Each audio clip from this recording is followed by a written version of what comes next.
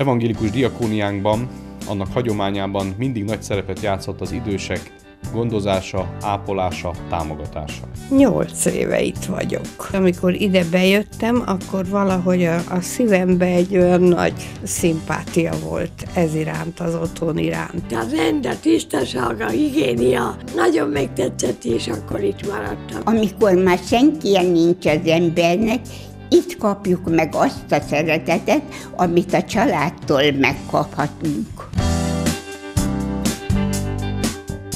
A mai világban, amikor mindenkinek szépnek, csinosnak és gyorsnak kell lenni, közöttünk élnek azok, akik nem ilyenek, fogyatékos gyerekek, fogyatékos felnőttek, akiknek az életének az értelmét mi nem látjuk igazán. Nagyon meghaltak, anyukám is, apukám is, volt egy gondokom Rozi is, az is meghalt, gondokom nem úgy szeretek ide járni. Én nagyon szeretem csinálni a dolgokat. Velünk élnek, közöttünk élnek, az ő életüknek is van értelme, rájuk is szükségünk van, hogy ők velünk éljenek mindannyian. Számukra is szeretnénk segítséget nyújtani a diakóniában.